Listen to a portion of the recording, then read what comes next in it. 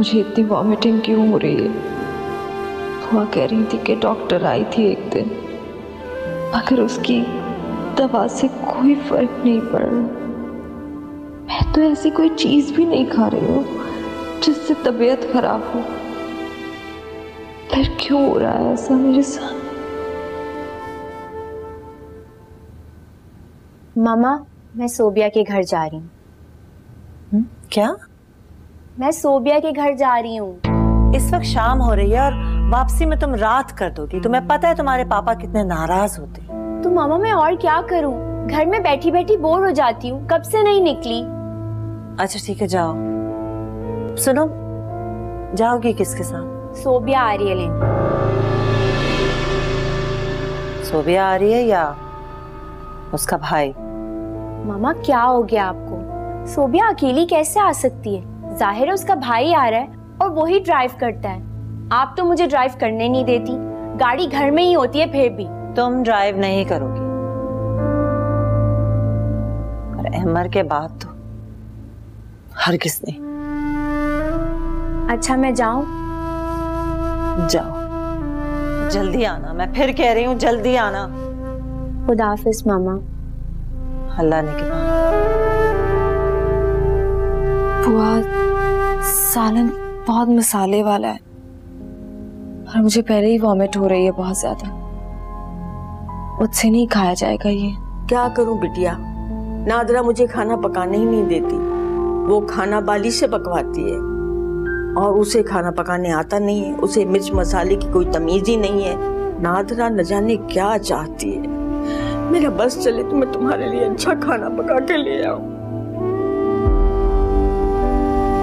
ऐसा करें, सालन ले जाए, मैं रोटी खा लूँगी। अच्छा रुको। मैं तुम्हारे लिए कुछ लेकर आती हूँ खाने के लिए। हम्म?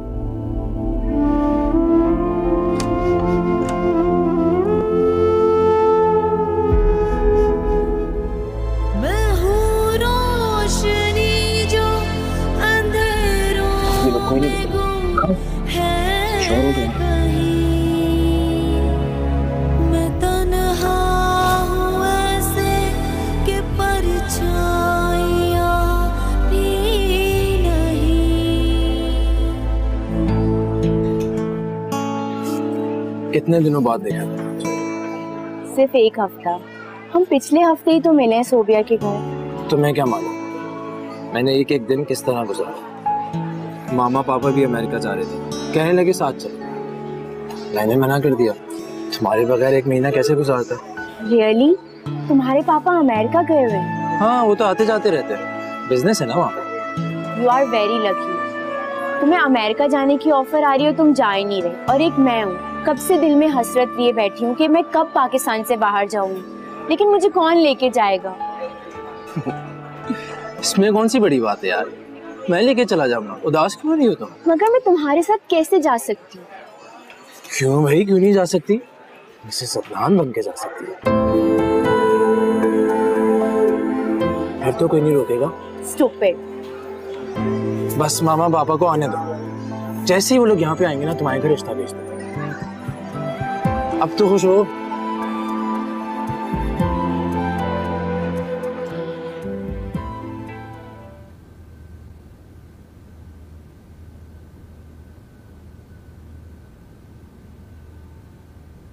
लो बेटा, ये खा लो।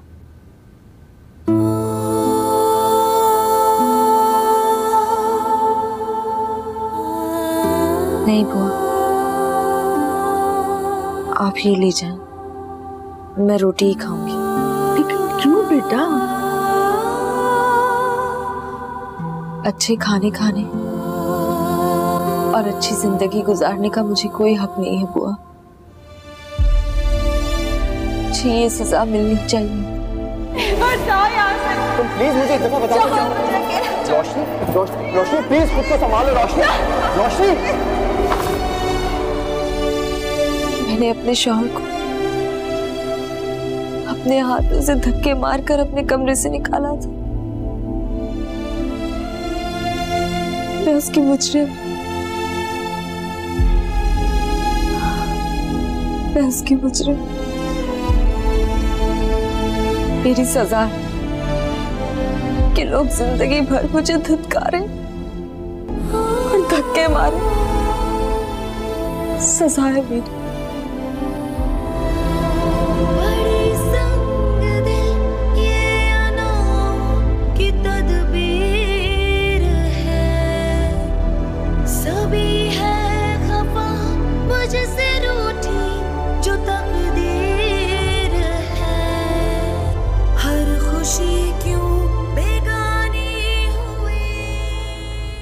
फयाज मैं अशर की शादी अपनी मर्ज़ी से करूँगी और जल्द अज जल्द करना चाहती हूँ। तुम्हें इतनी जल्दी क्या है नादरा? ये अमर को गए कितने गुजरे? मुझे उसके रंग ढंग ठीक नहीं लग रहे फयाज। मुझे डर है कि अगर मैंने उसे और ढील दी तो कहीं कोई तूफ़ान ना आ जाए हमारे घर में। जिस तूफ़ान से हम गुजर कर यहाँ तक पहुँचे। और फिर अमर इससे बड़ा और क्या तूफ़ान आएगा नादरा एक तो आपने सौ साल पुरानी कहानी अपने दिल से लगा के रखी हुई है फयाज। जाते फयाज?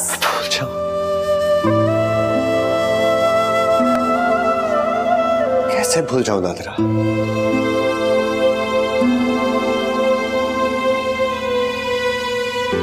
जब भी अपना चेहरा देखने आईने के सामने जाता हूँ तो मेरे चेहरे के पीछे से एक और चेहरा नमूदार होता है।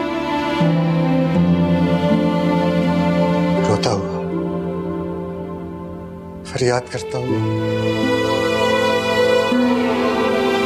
उसकी आँखों में बेबसी है। शिकवा। दर्द। और ये दर्द मेरे जिस्म में फैल जाता। है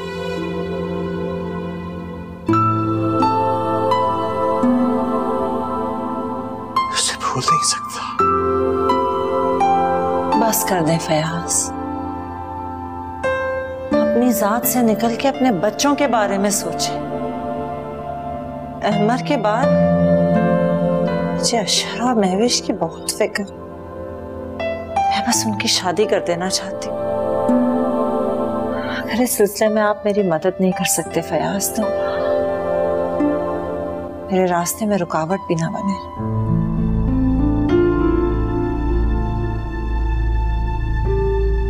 क्या चाहती हो तुम? अशर की शादी ज़बरदस्ती करना चाहती हो। तेरा शादी ब्याह के फैसले ज़बरदस्ती नहीं किए जाते। हो सकता है अगर अपनी मर्ज़ी से तुम ये फैसला उसके सर पे थोपो तो वो तुम्हारी बात मान तो जाएगा। लेकिन फैसला ना निभा सका। तो एक नहीं दो दो जिंदगियाँ बर्बाद होंगी।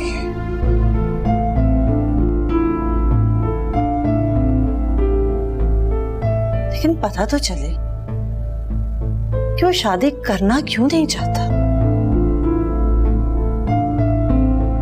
इसकी शादी की उम्र है, तालीम मुकम्मल कर चुका है बिज़नेस सेट कर चुका है तो बहुत क्या बचा है? है उसने शादी से इनकार नहीं किया है। फिल्फ और शादी से इनकार ज़रूर किया है उसने। और मेरे नज़दीक वो अपनी जगह बिल्कुल बचा है। इसमें इसका साथ दूँगा नाजरा। मैं नहीं चाहता कि इद्दत के दौरान शादी का ज़िक्र भी हो। मगर आप भूल रहे हैं फयाज। कि रोशनी इद्दत खत्म होने पर अपने मैके चली जाएगी। ये बात मैं आपको बता चुकी हूँ और आपने हामी भी भरी थी। ठीक है। कर लो अपनी मर्ज़ी नादरा। भेज दो रोशनी को मैं के अशर की शादी भी करता हूँ, लेकिन इद्दत खत्म होने के बाद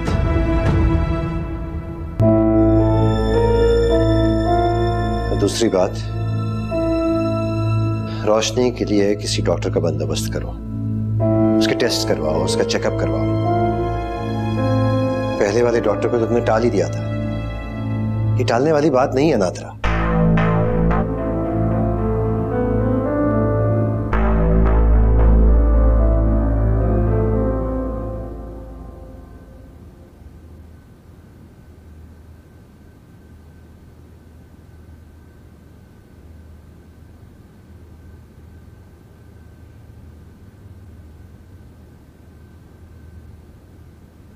रोशनी बिटिया।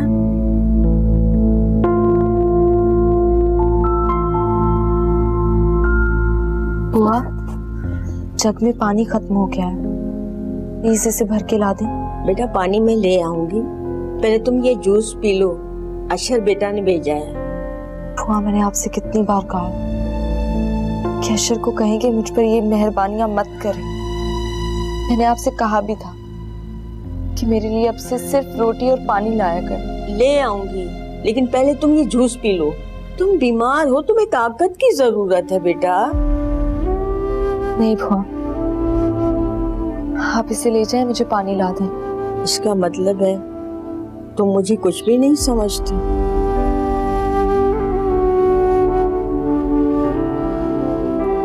नहीं बुआ प्लीज़ ऐसे मत कहें। एक आप ही तो है जिससे मैं अपने दिल की हर बात कर लेती हूँ। आपको अपना समझती हूँ तो कहती हूँ। तो फिर ये जूस पी लो और मैं तुम्हें जो कुछ खिलाऊं इनकार मत करना। वहाँ से मत करें।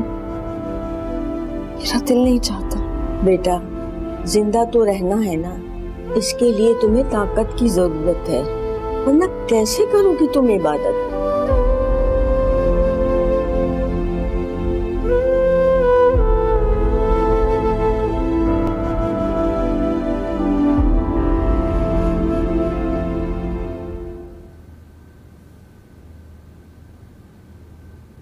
मेरा ख्याल था नादरा उस दिन गुस्से में बोल गई कि रोशनी इद्दत के बाद अपने घर चली जाएगी। लेकिन वो तो बहुत सीरियस है इस बात में मुझे ये बात समझ नहीं आ रही कि मामा को आखिर भाभी से प्रॉब्लम है तो क्या है? जबकि भाभी तो पापा बहुत आदतन नेक हैं। क्या कह सकता हूँ यार नादरा का किसी की बात मानती तो है नहीं। जो एक मरतबा सोच लिया बस वो ही करना है कोई समझा नहीं सकता। अगर भाभी खुद से अपने मैके जाना चाहे तो हम उन्हें नहीं रोक सकते मगर इस तरह घर से निकाल देने वाली बात। ये तो ये तो ज्यादती है ना।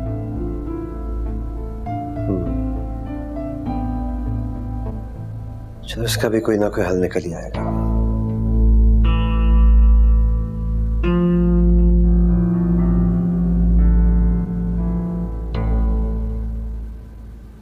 समीरा बाबा की तबीयत तो ठीक है ना? हाँ बिल्कुल ठीक है क्यों? जब सुबह गया तब भी वो सो रहे थे।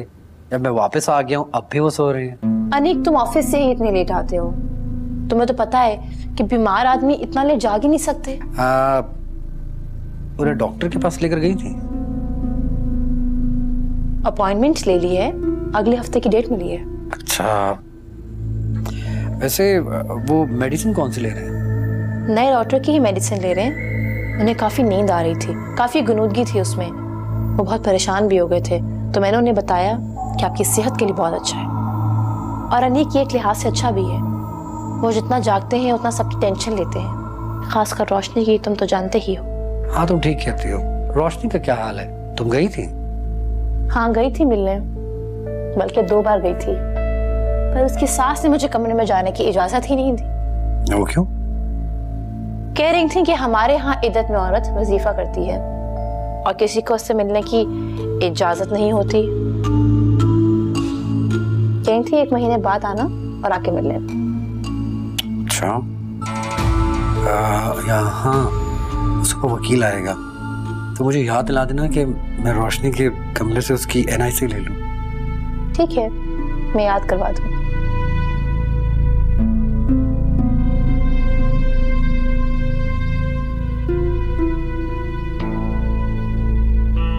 कहा भी था महविश से कि जल्दी घर आना। सुबह से निकली हुई अब, और अब रात हो चुकी है। धनी उसके घर में है या उसके भाई के साथ कहीं बाहर निकली हुई है। फयाज तो पहले ही कह चुके हैं कि हैविश पे नज़र रखो। पता नहीं कब आएगी।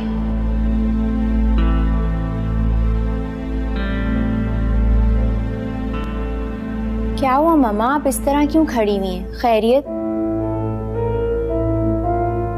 जब कोई लड़की सारा सारा दिन बाहर रहे और रात को उसकी सहेली का भाई उसे घर छोड़ने आए तो कोई माँ सुकून से कैसे बैठ सकती है? मामा आप टेंशन क्यों ले रही हैं? मैं सोबिया के घर ही तो होती हूँ और आप उसे अच्छी तरह जानती और दूसरी बात ये कि उसका भाई मुझे अकेले छोड़ने नहीं आता। सोबिया साथ होती है। सोबिया आए ना आए अब तुम वहाँ नहीं जाओगी। और अगर तुम्हें इतनी ही तड़प है सोबिया से मिलने के लिए तो उसे यहाँ बुला लो। ये क्या बात हुई मामा? क्या भाभी की तरह मुझे कैद करना चाहती हैं?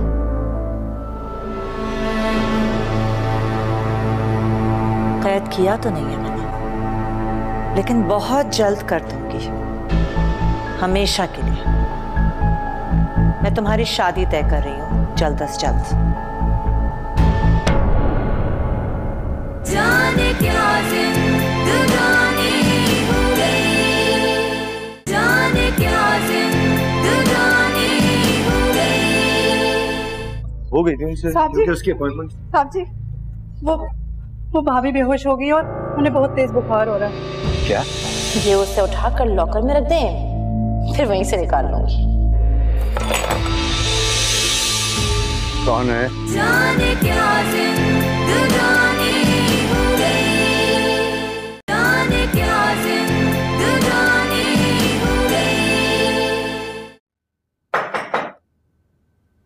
आ जाओ।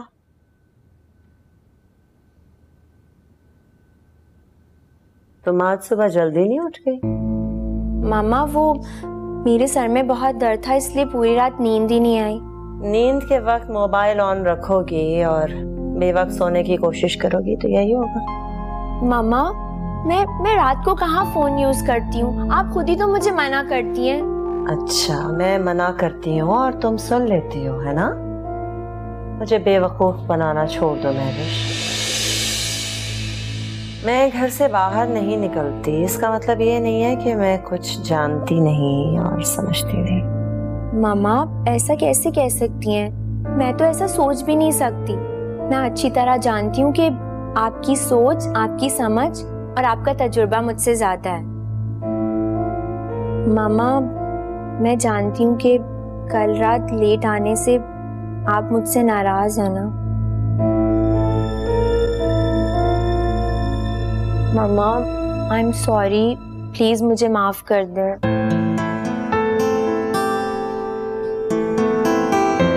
अच्छा चलो ठीक है। अब हटो। मामा आप खुश हो गई? अब तो मुझे नींद आ रही है और मेरे सर का दर्द भी सही हो गया। अब तो मैं आपके पास ही सोऊँगी।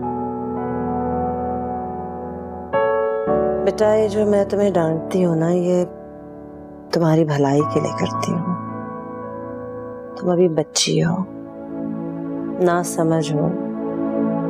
बस डर लगता है कि तुम्हें कोई नुकसान ना पहुँचा दे। मामा मैं जानती हूँ। अल्लाह तुम्हें हमेशा खुश रखे।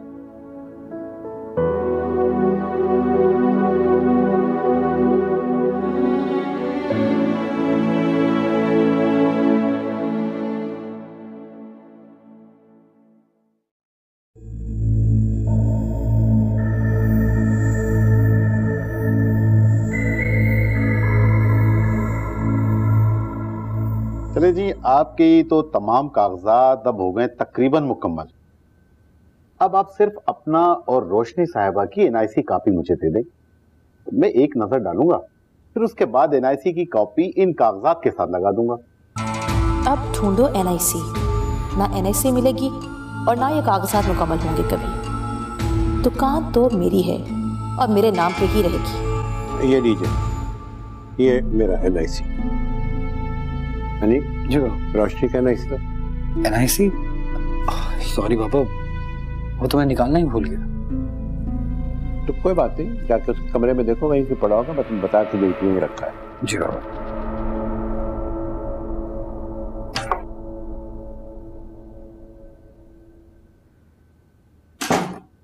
भाभी?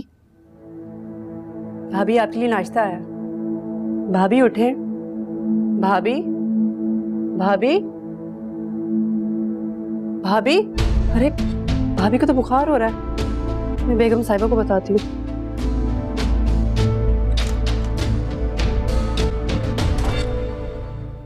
वकील साहब वो मकान के कागजात तो ठीक मुकम्मल हो गए थे ना? जी जी वो कागजात तो बिल्कुल मुकम्मल हैं। आप उसकी बिल्कुल भी फ़िक्र ना चलिए। शुक्र है। अब रह गए बाकी दुकानों के। तो ये दुकानों क्या मुकम्मल हो जाएँगे? जी जी बिल्कुल वो भी हो जाएँगे इंशाल्लाह। बस ठीक इंशाल्लाह।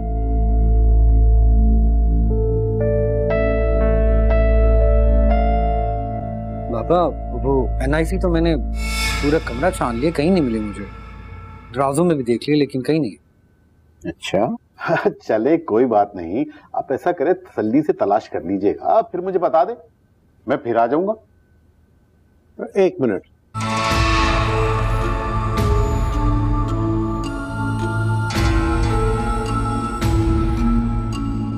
हाँ ये लीजिए। जी बहुत अच्छा हो ये तो। बुढ़ा बीमार बिस्तर पे पड़ा है। खाने पीने का होश नहीं इसे मगर बेटी की एनआईसी की कॉपी खूब संभाल के रखी है इसने। चले जी अब आपकी कागजात हो गए हैं तकरीबन मुकम्मल। अब आप सिर्फ़ रोशनी साहिबा के साइन करवा लें और फिर मुझे बता दें फिर तकरीबन ये समझ ले कि कानूनी कार्रवाई मुकम्मल होगी। अनिक जरा ये तुम भी अच्छी तरह से चेक कर लो। ठीक है पापा तो ठीक है मैं अब इजाज़त चाहता हूँ। और जैसे ही रोशनी साहिबा के दस्तखत हो जाएँ तो फिर आप मुझे बता दीजिएगा तो मैं आ जाऊँगा। ठीक है वो तो मैं फ़ौरन करवा देता फिर अमरीका गई हुई है। आ जाएगी तो मैं करवा के आपको बता दूँगा। तो ठीक है आप मुझे इजाज़त। आप रुकिए। चाय तो पी के जाइए। अरे इस तकल्लुफ की क्या ज़रूरत है? चाय हम फिर पी लेंगे। अभी मुझे जरा कोर्ट भी जाना है। तुम्हारी डॉक्टर से बात हो गई थी कल? जी बाबा मेरी बात हो गई थी उनसे साहब जी। क्योंकि उसकी अपॉइंटमेंट साहब जी वो वो भाभी बेहोश हो गई और उन्हें बहुत तेज बुखार हो रहा है। क्या? हाँ, अशर तुम फ़ौरन जाके डॉक्टर को बुलाओ। मैं नादरा को भेजता हूँ उसी कमरे में। जाओ। जी बाबा। और बादी तुम जाके रहीम बुआ को भेजो। रोशनी कमरे में मैं नादरा को बुला जी सर। सारी मेहनत बेकार गई। बड़े मियाँ कितने होशियार हैं। कैसे दबा के रखी थी एनआईसी की कॉपी अपने पास? उनका क्या होगा? मेरा प्लान तो नाकाम हो गया ना? मगर नहीं, अभी रोशनी के साइन नहीं हुए उन पेपर्स पर। मगर देखने वाले ने तो साइन कर दिए ना। असल तो वही होता है। लेकिन कागजात अभी घर पर हैं। अगर उन्हें किसी तरह गायब कर दिया जाए और फिर उन्हीं की कॉपी बनवाकर जाली साइन करवा लिए जाएँ तो काम बन सकता है। क्यों ना मैं काशिफ से बात करूँ? वो प्रॉपर्टी डीलर है और उसे सब पता होगा। महविश की फ़िक्र है नहीं आपको और रोशनी के गम में घुले जा रहे हैं आप। क्या हुआ मैं विश को? रात भर से बुखार और सर दर्द में तड़प रही है वो। मेरे कमरे में आई सारी रात सर दबाती रही हूँ अब जाके सोइए। बता ही दिया करो। मैं इसे हॉस्पिटल भिजवाता चेकअप करवाता है इसका। क्या बताती मैं आपको फयाज? आपको खुद फ़िक्र होनी चाहिए। एक ही घर में रहते हुए आपको बेटी की खबर ही नहीं होती। नादरा तुम अच्छी तरह जानती हो कि बच्चों में मेरी जान है। बहरहाल मैं अभी उठ जाए तो इसे हॉस्पिटल भिजवाता हूँ चेकअप के लिए। मैं बताने ही आया था कि रोशनी बेहोश पड़ी अपने कमरे में। बाली ने बताया मुझे अभी। एक तो आप बाप बेटों को हर वक्त रोशनी की फ़िक्र रहती है। बाली को क्या पता?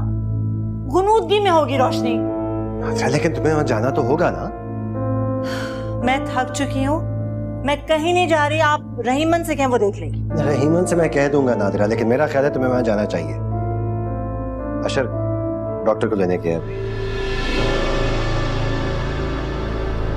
अशर को डॉक्टर के पास भेजे। किसकी इजाज़त से? इसमें इजाज़त की क्या ज़रूरत है, नादरा? तुम जानती हो कि रोशनी की तबीयत कुछ दिनों से खराब है। तुम तवज्जो नहीं दे रही थी उसे। तुम्हें तो डॉक्टर की बात पे एतबार ही नहीं है। जानती हो ना उसने क्या कहा था? नादरा, मुझे इस बात की तस्दीक करनी है हर हाल में। और मुझे इसके लिए किसी की इजाज़त की ज़रूरत नहीं है। तुम्हारी मर्ज़ी है, अगर तुम जाना चाहती हो तो जाओ रोशनी के कमरे में, वरना मैं बुआ से कहता हूँ, वो जाए।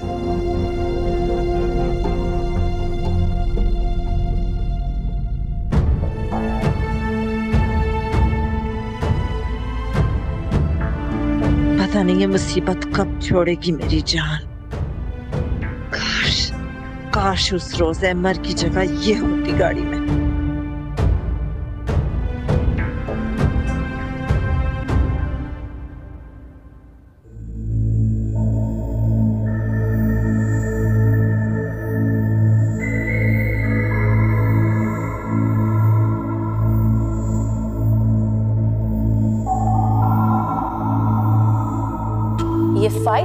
कर दूँ तो सारा मसला ही हल हो जाएगा।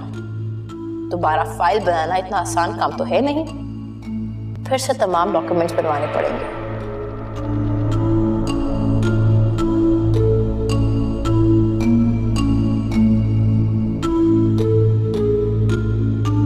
नहीं नहीं, अभी गायब करना मुनासिब नहीं रहेगा।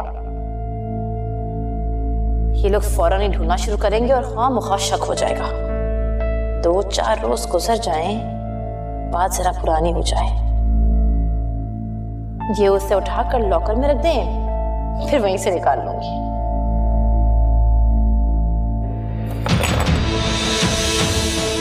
कौन है?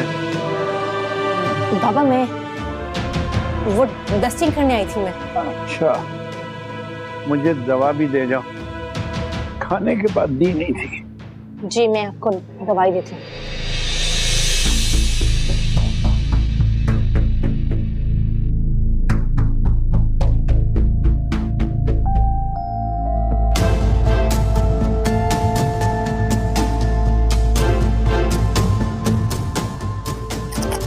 ये दो दवाई लीजिए।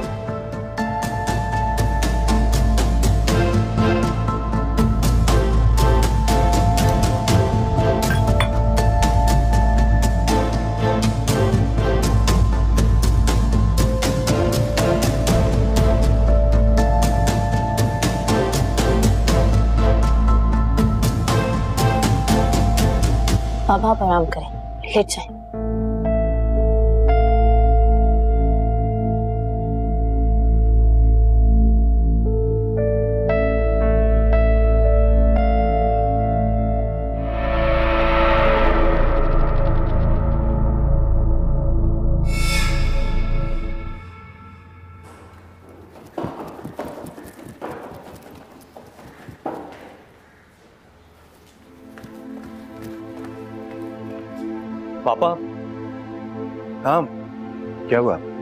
डॉक्टर साहब चलेगी?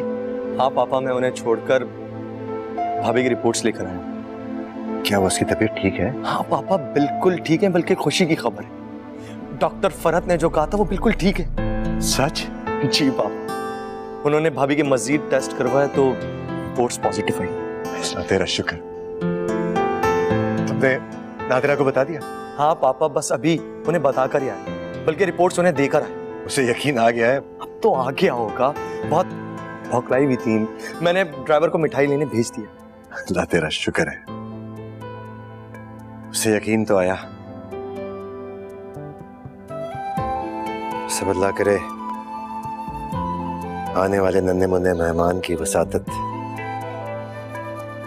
नादिरा का दिल रोशनी की तरफ़ से मोम हो जाए।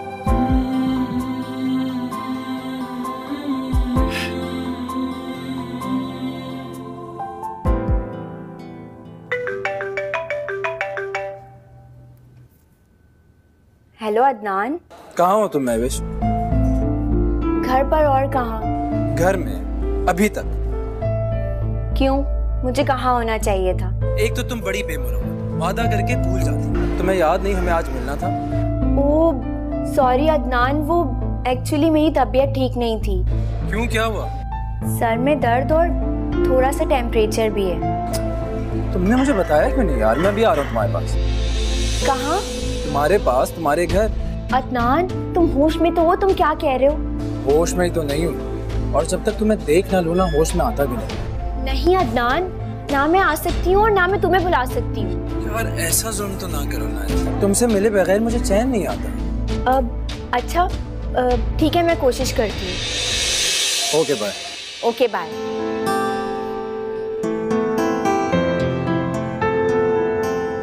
बुआ आप सुबह उठते ही सबसे पहले नज़र का सामान ले आइएगा। और ड्राइवर से कहिएगा सदके का बकरा ले आए। और बाली अम, रोशनी का कमरा अच्छी तरह साफ़ कर देना। और इलेक्ट्रिशियन को बुला के ना एसी ठीक करवा देना। ठीक है? ठीक है जाओ। चलो।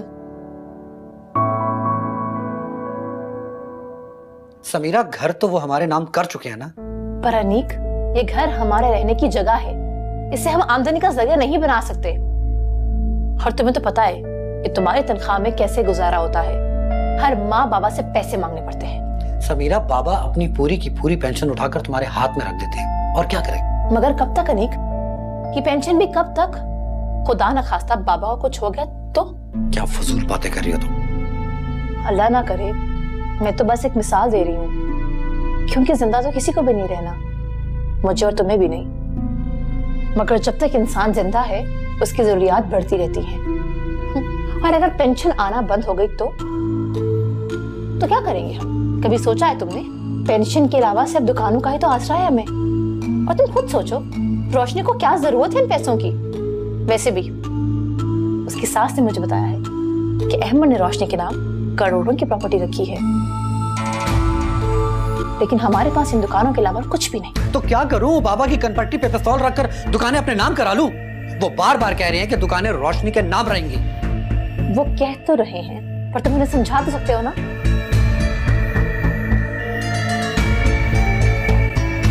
हाँ जी बेगम साहिबा। मुबारक। हो अब यकीन आ गया? नहीं मुझे तो अभी भी यकीन नहीं आ रहा। ऐसे जैसे एक ख्वाब सा लग रहा है। क्या वाकई मैं मैं दादी बनने वाली हूँ। हाँ नादरा तुम दादी। और मैं दादा बनने वाला हूँ। हमारा वापस आने लगा नादरा शुक्र है अल्लाह का कि इस घर में खुशियाँ वापस आई। माँ, उस नन्हे मेहमान का बहुत ख्याल रखना होगा जो जो भाईजान की कमी पूरी करने इस घर में वापस आ रहे हैं। जिंदगानी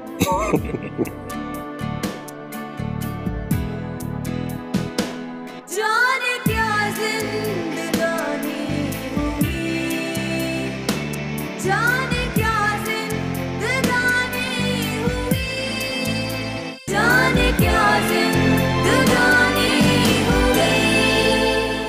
अल्लाह तू कितना मेहरबान है। ज़िंदगी जीने का मकसद दिया। मुझे बच्चा बहुत खूबसूरत और सेहतमंद चाहिए। बिल्कुल मेरे अमर की तरह। सोच रहा हूँ उस कमरे में कितनी खामोशी रहती है। तो कोई बोलने वाला होना चाहिए नहीं? ये ख्वाब तो हम दोनों ने मिलकर देखा था ना। जाने क्या